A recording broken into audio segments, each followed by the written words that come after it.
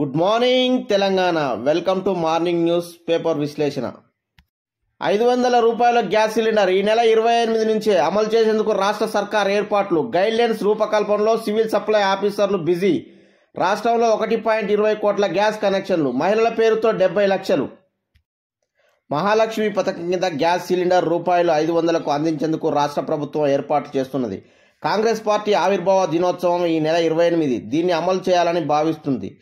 ఇందులో భాగంగా civil supply department అధికారులు గైడ్లైన్స్ను వేగంగా ప్రిపేర్ చేస్తున్నారు. కస్టమర్లు ఎంతమంది ఉన్నారు ఎవరికి వర్తింపజేయాలి ప్రభుత్వంపై భారం పడేది ఎంత అనే లెక్కలు తీస్తున్నారు. రాష్ట్రంలో ఒక కోటి ఇరవై లక్షల గ్యాస్ కనెక్షన్లు ఉన్నాయి. నెలకు అరవై లక్షల సిలిండర్లు సరఫరా అవుతున్నాయి. మహాలక్ష్మి పథకం అమలుకు ఎంత లేదన్నా ఏడాదికి దాదాపు మూడు వేల కోట్లు పైగా ప్రభుత్వంపై భారం పడే అవకాశం ఉన్నట్లు తెలుస్తుంది.